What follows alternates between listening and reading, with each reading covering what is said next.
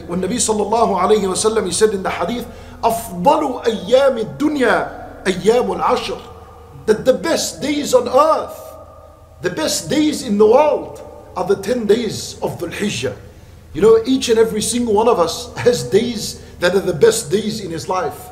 Maybe it was the day you got married that was the best day in your life.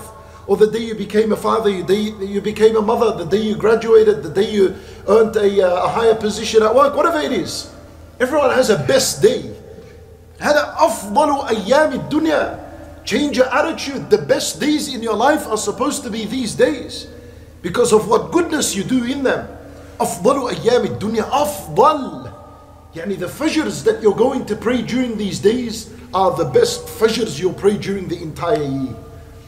And the Quran that you're going to read during these 10 days is the best Quran you're going to read during the entire year.